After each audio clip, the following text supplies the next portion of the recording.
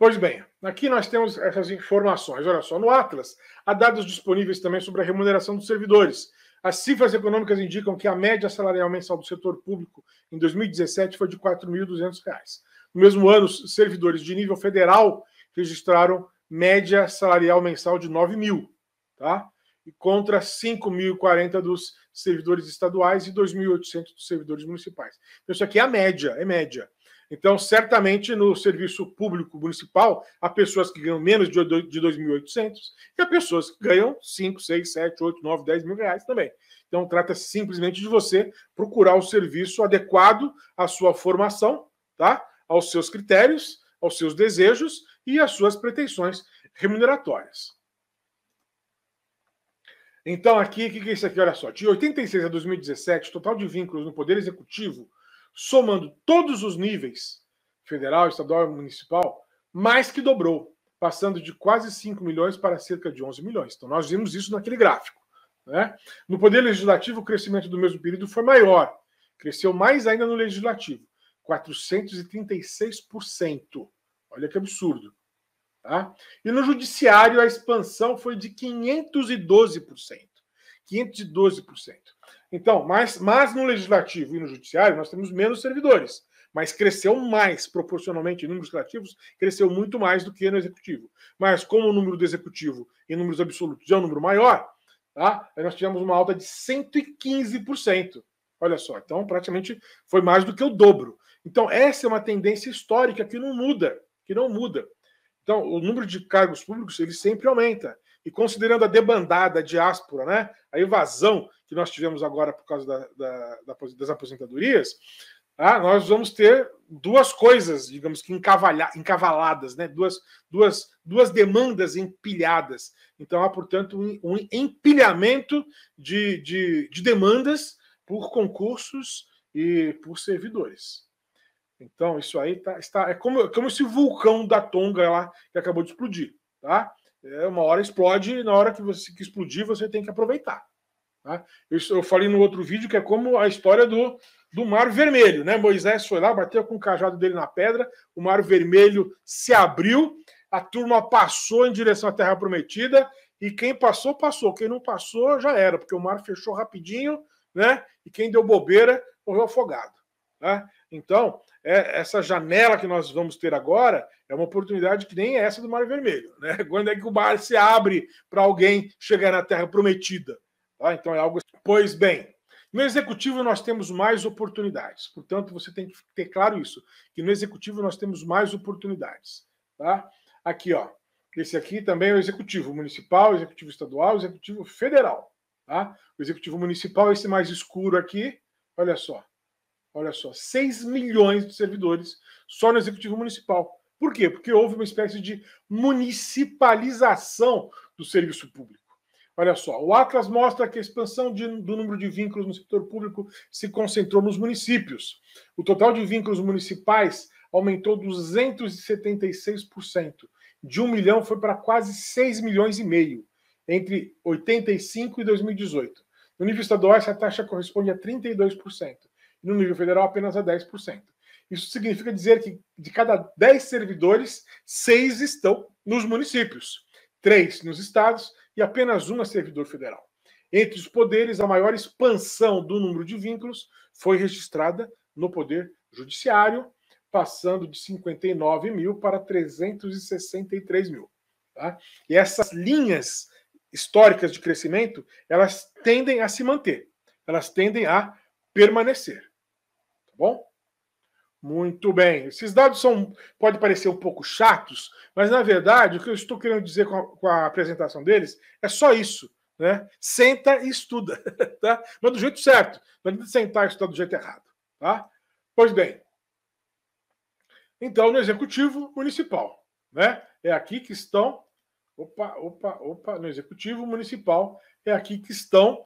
É, é aqui que está o maior número de vagas. É aqui que está a sua oportunidade. Beleza? Temos no judiciário, então, olha só, sobre o perfil dos servidores.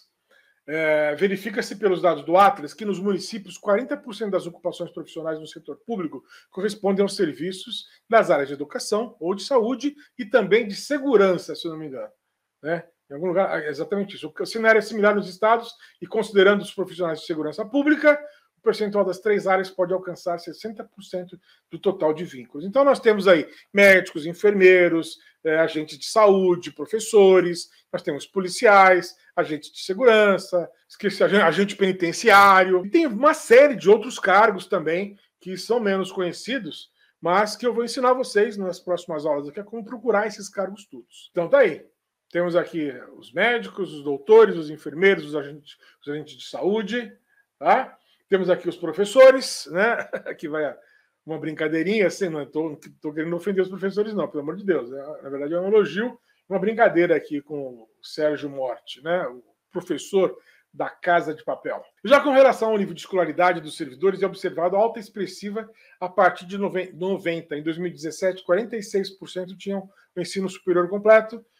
No Poder Judiciário, os servidores com nível superior chegam a 79%. Por quê? Porque no Poder Judiciário, geralmente, é, geralmente não, há muitos cargos, Está começando, obviamente, pela magistratura, pela procuradoria. os ministérios públicos não estão no Poder Judiciário, né? Não, não, estão. Mas, de qualquer forma, nos tribunais você tem muitos profissionais que são profissionais do direito. Não só os juízes e os desembargadores, mas muitas vezes os técnicos e os analistas também fazem direito.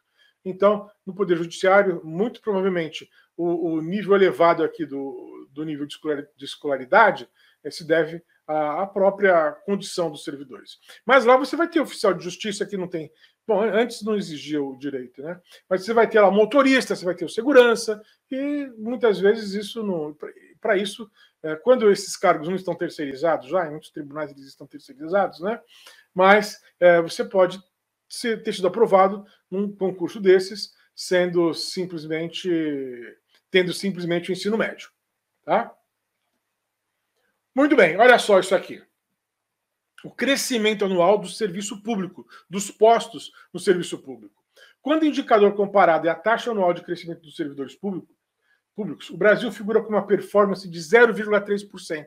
Se nós temos 12 milhões de cargos, todo ano nosso, o número de cargos cresce a uma taxa de 0,3%. Isso dá 36 mil cargos a mais por ano, 36 mil cargos novos tá? que é a metade da média da OCDE para o período, de 0,6%. Tá? E que está aquém ainda da média da América Latina, que é de 1,4%.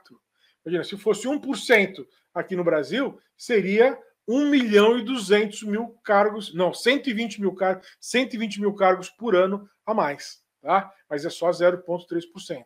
É um número percentual muito baixo, mas que em números absolutos gera um número, gera um número grande. Tá? Então, olha só, o número de servidores do Brasil está abaixo da média da OCDE. É aquilo que eu mostrei naquele gráfico lá e que vou aprofundar aqui. Ó. Aprofundar não, vou só mostrar mais aqui de forma ilustrada. Então, a próxima tela é a mesma tela, aumentada. Então, olha só, na Suécia, é, 30% dos, dos, das pessoas que trabalham, das pessoas da, da população economicamente ativa, é, são servidores públicos. Os países, nos países da OCDE, a média é de 22%, a média. Nos Estados Unidos, quase 16%.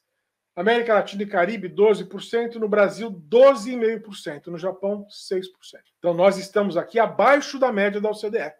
Se nós estivéssemos na OCDE, no, no patamar médio da OCDE, nós precisaríamos, para estar no patamar médio da OCDE, nós precisaríamos de 21 milhões de servidores no Brasil.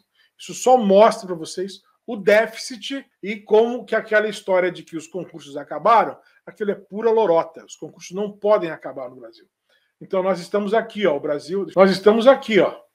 Tá o Brasil aqui, ó, com com 12% mais ou menos aqui, ó, mais ou menos 12%.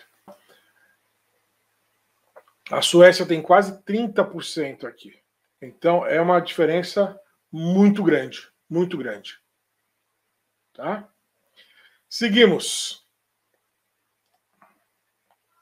Eu não vou ler isso aqui tudo, mas a ideia é essa, tá? É só, ele só está comparando os dados aqui, ó. 16% nos Estados Unidos, é, os relatórios da OCDE, apontam essa média de 22%. Então, nós estamos bem abaixo da, da OCDE. Tá? Na liderança vem a Suécia com 30%. Ok? Pois bem, pois bem. Muito bem, pessoal. Olha só, nós ainda temos muita conversa pela frente. A conversa segue aqui, ó. Nós estamos represando milhões de vagas, tá? Então a gente vai continuar essa conversa amanhã. Amanhã às 8 horas a gente vai estar aqui novamente. Nós vamos continuar a nossa conversa por aqui. Tem mais um monte de transparência aqui sobre esse assunto, tá? Porque eu estou de fato querendo aprofundar esse assunto com vocês, tá bom? Então, muito obrigado pela atenção. Amanhã a gente continua a partir daqui falando exatamente desse processo de represamento das vagas, tá bom? Boa noite, até mais.